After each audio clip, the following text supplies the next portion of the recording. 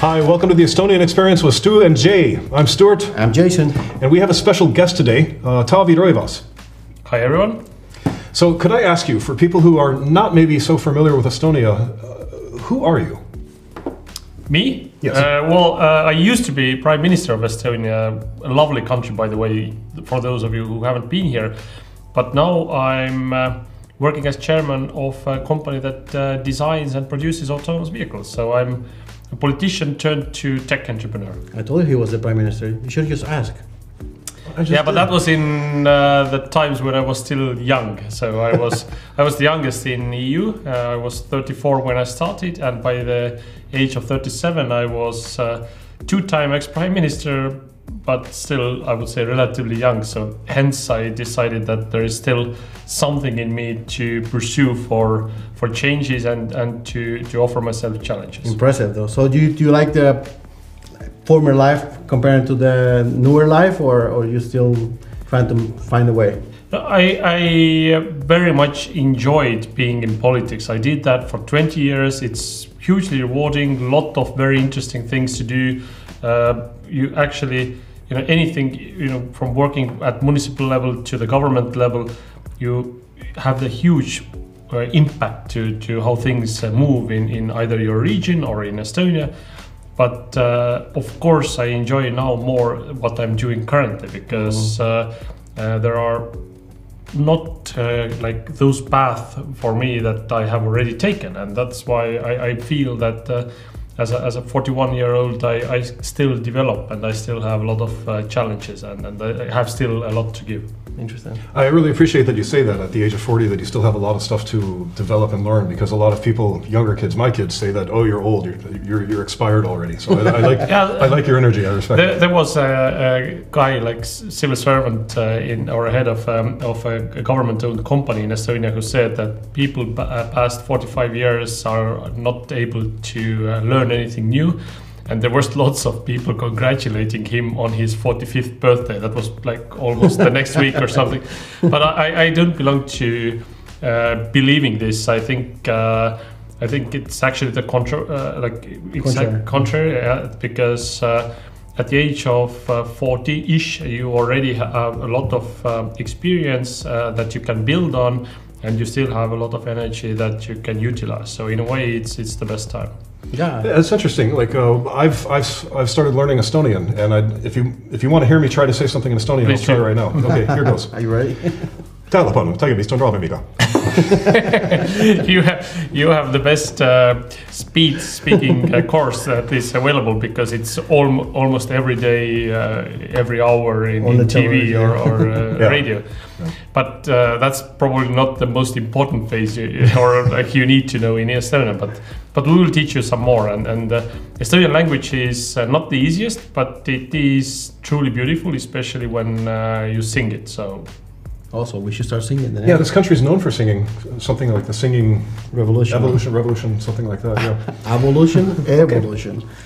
And we're gonna continue talking about the great things about living in Estonia. And Stuart, you wanted to say something? Uh, our last episode, you promised to teach me something in Estonian, so let's have at it. Do you already have a sentence in Well, mind? as you already uh, know a lot of uh, words or phrases that you don't need ever, then I will teach you uh, another one. Like tere tere kere? Uh, well, that, that's actually something that you, you can use. It's not the politest uh, phrase, but what I would like to teach you is um, um, a word that consists of uh, five words. That's probably one of the longest words in Estonian, and it's Alma raudteejaam. Alma raudteejaam. Alma raudteejaam. Well, what is it? Alma raute. Teejaam. Yeah. Yeah, you are both very good. In, Alma raute Ja, se sai al, alla raudteejaam, kus need rongid sõitsivad sõitsid äh, La, la, kas la, orjad- la, la, la. Need võtsid neid orjad äh, So it's actually it's, it's five five words. Alma raudteejaam, and it means subway station. Yeah. Oh, interesting. I was making a joke about it being the Underground Railroad, which took escaped slaves out of the Deep South before the Civil War. I have a question for you though, if you don't mind. Like you have traveled around the world, you know, representing the country, and I'm interested to know about what is the difference, or what have you seen the difference between Estonians now uh, from Estonia and the different Estonians around the world? Because a lot of them, you know, they escaped whatever happened in the past here, and I'm interested to know, like, are they different than the Estonians we have nowadays here in, in the country? The Estonian diasporas. Um, well, a lot of Estonians uh, fled the country uh, because of war and, and Soviet occupation, so it happened already in the 40s. This means that those people who were born in Estonia, uh, they are uh, already quite old, uh, and, and those people whom you see as diaspora, a lot of them have um, been born to, let's say, in New York, in, in Sweden, in, in, in many many other countries. So, so it's quite difficult to, to compare, but they still uh, uh, cherish Estonian uh, language and culture very much. This is something that Estonians uh, are known for. You know, there is only roughly one million people who can speak our secret language, and this means that um, we are almost allergic to anything that threatens that. And uh, and what has happened to to those generations? It might be third or, or fourth even generation already born in let's say United States. Uh, they still uh, learn Estonian, they sing in Estonian, they have their special schools. So, so that's something that you immediately understand. Uh, secondly, if you look at the Estonians who have moved uh, out, let's say, to, to some uh, to other countries recently, um, it depends very much on what they do, whether they went to Finland for construction or whether they are among those who do this international business uh, as uh, tech entrepreneurs, as startup people. It could be very different in terms of profile. I've, I've known a lot of Estonians who listen to this uh, eestlase music, like Mhm. uh, expatriated Estonians music. Uh, for example, there is a band, I don't remember the name of it at the moment, but they Mhm. were in Canada, and they sing purely in Estonian, which is cool. Mhm. But my friends who are, you know, Estonian Estonians, they found the accent hysterical.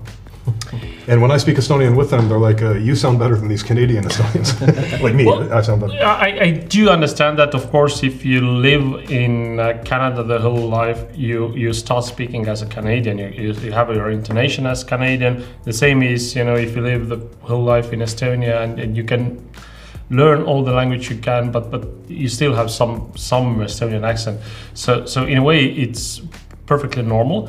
Uh, secondly, what we do see uh, is that uh, those people who live very far from Estonia, Canada, Australia, US, uh, they tend to be very patriotic. They they very much cherish uh, uh, Estonian uh, Independence Day. Estonian black bread, all this.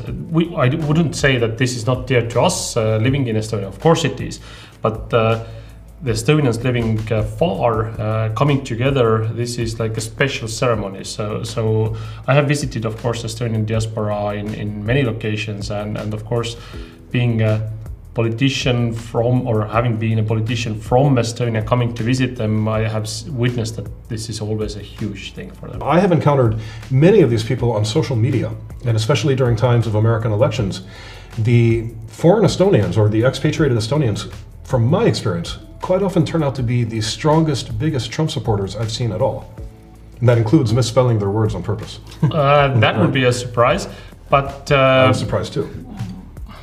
yeah, I mean, uh, the funniest thing that I have noticed about Estonian politics, or one of the funniest things, uh, uh, which is somewhat related to Trump politics, is that uh, uh, a lot of Estonians who live abroad uh, as um, expats themselves. They tend to support very strongly strong politics against expats coming to Estonia. Uh, so they s- support EKRE, which is basically the Estonian analog of, of Trump politics, if we can generalize this way. And, and those people living abroad uh, are very likely, or much more likely, uh, to support uh, Trump politics. You mentioned you're no longer in politics, so I would like to know more about the new person, the new Taavi.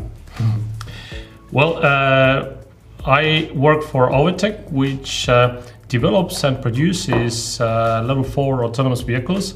And uh, our belief is that there is no question whether there will be uh, machine taking over uh, routine jobs of people. Of course, it will happen.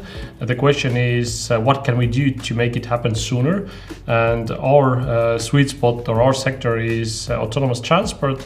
And of course, the bigger picture is how to reduce CO2 emission, how to reduce the need for personal cars, how to look out of the window and not to see only parking lots. Um, you know, with autonomous vehicles, you can take a subway or, or train, and, and then from the train station to in front of your uh, building, be it home or, or office, you can just take a shuttle. So, um, yeah, we don't think that autonomous uh, driving will only happen tomorrow. We already have more than 10 uh, road legal vehicles ourselves in, in our company, and we believe that there will be many more. They said that that's how everything starts. Then the machines go back to kill Sarah Connor. That's how the singularity happens. yeah, well, I I do understand the threats, and I do understand this um, um, concern, and, and I think it's legit concern. But just like with uh, um, digital government that Estonia is very well known for, most of the threats, uh, if you know them, if you understand them, they are addressable, and, and you can take care of that, or you can minimize the threat. And the same is with autonomous driving. Uh, if you address um, the threats, it can be many many times safer than human beings What, but what, what's going to happen if we have all kinds of machines doing all of our jobs? Then what do we do? Like, We're all going to turn into America, Americans. yeah we do uh, stuff. we I'm do cool there. uh, cool podcast i mean this has happened cool uh, for centuries uh, that you know imagine how many people uh, worked uh, uh, years ago just to make this table and now it comes from uh, some sort of machine so there is less manual labor already if you compare to 100 years ago 200 years ago and none of us would want to have uh, the majority of the jobs that were available 200 years ago uh, hence i believe that this trend which accelerates uh, is actually continuing that uh, uh, more routine jobs are being done by machines and we have time and, and possibility to do something more meaningful, some more value add things. and at the same time, sorry to interrupt, at the same time, more, more jobs are being created in a different way. as well. Exactly. I, I mean, th- the world is not running uh, out of things to do uh, and also value add things to do. So the, just the jobs will change, and there still will be jobs in, in 20 or 30 years as well. Well, we have to wrap up wrap up this episode, but I just wanted to mention, like, so if we have all this free time from you know autonomous uh, factory production and so on, do you expect something like a uh, an explosion in the number of poets Um, in, in society? It What are can, people going it to do? can be, but uh, there can be also different jobs uh, that uh, uh, do something uh, totally different than uh, than human beings are, are doing today. Uh, if you have computers, you need uh, less people uh, typing, but uh, or, or writing down things, but you need people uh, to program the uh, the computers. So so the, the jobs will will change, and, and the, the opportunities that we can experience uh, can definitely change. Okay. Very good. Uh, as promised, I'm going to ask uh, him about his opinion about Skynet. For those of you who don't know, uh, Skynet was basically a fictional film supercomputer developed in the future, and it basically caused a nuclear Armageddon that wiped out most of humanity, except there was a resistance, and they sent these intelligent machines called Terminators back into the past to kill the leader of the resistance. And Taavi is So- working on that right now. So Yeah, we're not, we know that you're not working on that. no, no, no, not really. we are uh, doing uh, much simpler things. We are just uh, getting uh, rid of uh, so many cars. Uh, I'm glad you didn't say people. yeah, we're, we're getting rid of personal cars or for the, the need of personal cars and then get you mo- much more comfortably from point A to point B. Okay, but the question I was leading up to with the whole Skynet thing is more of, I guess, a, a software ethics question. So, you know, in inadvertent, inevitably, there's going to be a situation where a driverless car has to choose between killing uh, an old woman crossing the street or killing a young mother with a baby carriage. You know, it can't be avoided. You have to choose the lesser of two evils. Uh, how does how does this programming work? Uh, first of all, um, uh, the where autonomous driving legally is right now is that uh, the cars are uh, not driving 100 kilometers an hour or, or 100 miles an hour. They are driving up to 25 kilometers an hour, and any kind of collision is basically possible to, or the risk ca- can be minimized. And, and in case of collision, uh, the the likelihood of uh, fatal accidents is is very very very very small. So in a way, we are in this spot right now where um, the ethical questions uh, need to be addressed, but but the likelihood is taken as, as minimal as, as humanly possible. So so that's something that uh, I think is important to um, to emphasize. Now. Um, the cars or, or the machines usually do what humans tell them to do and then they can be extremely accurate in that so in a way this is something that we need to agree on as humans whether there can be this kind of um, uh, ethical decisions, or we need to you know be able to uh, to uh, um, have procedures uh, to eliminate this risk uh, entirely. What I'm talking about uh, in some cases, uh, uh, the best way to limit the machine is actually very manual. You don't uh, allow people walking there where, where some autonomous uh, things uh, like trains or, or buses drive very fast, or, or you just again minimize the risk with, with sometimes very simple um, solutions. Uh, having said that, I think it's still relatively uh, distant time when we will be seeing in the streets of Tallinn uh, uh, tens of thousands uh, cars all driving fully autonomously. I don't think the society is fully ready for that. I think we need to first get acquainted to the to the level four uh, and possibly level five uh, autonomous uh, driving slowly, driving um, uh, as risk free as possible, and then learn from that, and then decide which is the best way to to address this ethical issue. Now that for us is actually quite quite exciting because you know we're over 40 years old. I'm curious to know about what your kids think about this. Like uh, you know they're grown up with this kind of you know power in their hands. You know. But let me, let me put it this way: my my grandfather uh, bought uh, a car when he was, um, I think, like um, more than 40 years old, and this was like real estate purchase. This was for life. It was a uh, Moskvich, um, Soviet uh, car, but this was really like a real estate investment.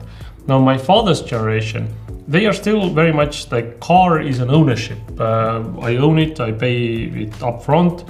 I am more like uh, you know it's it's a leasing payment um, every every uh, month, and my kids they think like how I get from point A to point B. They don't care if it's a car, if it's a, you know helicopter, if it's a, if it's an autonomous shuttle, if it's a bus, Uber, Bolt, whatever. Uh, so so it it has changed the way how we think about. Uh, uh, transportation and it has changed the way uh, how we think about uh, owning things so so car does not have to be something that you necessarily own in the in the near future Yeah, something that you can steal. yeah, I would like to uh, know your opinions about the future of uh, clean electrical production in Estonia. Well, is there uh, a future? Uh, Of course, there is. Uh, there has to be, and uh, I was actually there in 2015 in, in when uh, the Paris Agreement was uh, agreed on, and uh, and uh, sat between uh, the Prime Minister of Spain and. Um, uh, now climate envoy of the United States, uh, then Foreign Minister uh, John Kerry, um, and and we all co- committed to this uh, that we will become more green, we will uh, start uh, uh, polluting less, and, and so forth. So in a way, there is no no question about it. It, it has to go this way. Um, now, obviously, we don't have enough sun uh, most of the time. Uh, we get like uh, more than 1.5 times less than south of Europe if we install one kilowatt uh, of uh, solar power. So we need also alternatives. Uh, Estonian state-owned energy company has been exploring very seriously um, offshore uh, windmills. Uh, that's something that uh, has a bit more, uh, let's say, uh, resilience to to also all, all kinds of weather. So there is more more wind available, but we still need something to store the energy if it comes from wind or if it comes from solar.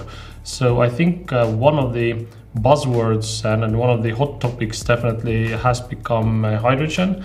Uh, how to produce it, how to store it, what to do with it. Um, and I'm quite confident that um, th- this decade will take a leap forward in hydrogen technology, both in, in consumption and also production. Oh, these are pretty safe technologies too. You know, hydrogen, so long as it doesn't randomly explode, which you know they're they're making huge leaps and bounds, and It has never happened before. Eh? It, it has happened, but they, there's a hydrogen-powered airplane that was recently. Uh, the prototype was flown in Germany as a hydrogen car. Uh, sorry, train there. Uh, I believe that there's tremendous uh, potential for hydrogen.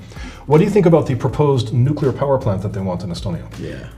I think it actually uh, uh, needs to be like properly discussed in the society in terms of uh, of uh, both environmental impact and and uh, societal impact. Um, uh, some Estonians still remember uh, the Chernobyl accident, which you know it doesn't have any connections too obviously because it's so much newer technology, but it would be wrong uh, to just overlook it and just start pushing it. Uh, whatever big uh, industrial uh, uh, let's say object and, and uh, not even talking about like huge energy production unit you need to win the society over before you, you can start building it. Yeah, I, I, agree with you. And also, I'd like to point out that you know nobody ever talks about the major catastrophe that happened in 1986 in Chernobyl when the massive solar power plant shut down because it was a cloudy day. You know, solar is like a, it's basically a completely risk-free technology. Okay, we can't use solar, but as you mentioned, wind is a great alternative in Estonia. Uh, it is, but but there there also needs to be uh, some sort of uh, like base uh, power. Uh, I mean, with wind and solar, the biggest problem is that when it is um, uh, winter night, the consumption is very high, or just dark winter day. The consumption is very high. The production is simply not there. You need to find some sort of solution for that. So will it be storing of hydrogen? Will it be um, nuclear? Will it be something else? I'm pretty much sure that we are, uh, or we, we don't have an alternative of, of uh, kind of moving away from um, oil shale, even though it has been, of course, for a century, uh, if not more, a very important energy source for Estonia. But, but this simply cannot uh, continue because of the huge CO2 emissions. So it, gradually we need to fade away well, there needs to be honest discussion. What are the alternatives, and and we cannot just rely on only what our uh, neighbors are producing. Uh, because when there is cold uh, winter day, it will be cold winter day also in Finland and Latvia. Which neighbors are you talking about now? Thank you for staying here for so long. Uh, we, we were talking about energy production in Estonia and some alternatives. Now, something that's growing in this country would be biomass. Mm-hmm. Besides me, of course. Yeah. yeah, we're using this guy for energy production. He eats a lot of beans. I'm growing a lot. what do you think of biomass, though? And, and does that affect deforestation in the country? That's a hot topic right uh, now around 15 years ago, there was a US president coming to Estonia and talking to Estonian uh, prime minister, then prime minister, and he said something like that: that you, you chopped out a tree and then you burn it and you call it green energy. Uh, so he was a bit confused. Uh, that was George W. Bush, by the way. But uh, in a way, it's not, you know, if you look uh, chopping down a tree in Central Park and chopping down a tree in a country where we have uh, 52% of the uh, land mass covered with forest, it's like, like a bit different thing. And, and those forests, of course, need to be uh, you, you need to make the best of it without uh, uh, sacrificing the nature, of course. So, mm. so I think biomass uh, continues to be a very important energy source for us. Uh, it's uh, renewable, obviously, and, and there's a lot of things that you can do with it. So, yeah, I think uh, that's we are we're lucky to have one of the biggest percentages uh, of uh, land covered with beautiful forests and, and uh, if we maintain them uh, properly we can also make a good use of it. It's funny that you mentioned the forest and when I came here the first time I asked you know why you guys have so much forest everywhere. Mm-hmm. The, the first answer was we need to heat up our saunas. so that was like whoa it kind of blew my mind but yeah. but I, would like to clarify one thing that you've I've heard this so many many times from many people that 52% of Estonian landmass is covered in forest. Mm-hmm. That's not exactly accurate though because when there are huge clear cuttings done, uh, they leave these seed trees, which always, like half of them fall down within a year because they're not, their roots are not simply not structured to withstand the wind. Basically, you have an entire clear cut area, but official government statistics do not reclassify this land as clear cut. It's still mm. officially forest, but there's no forest there.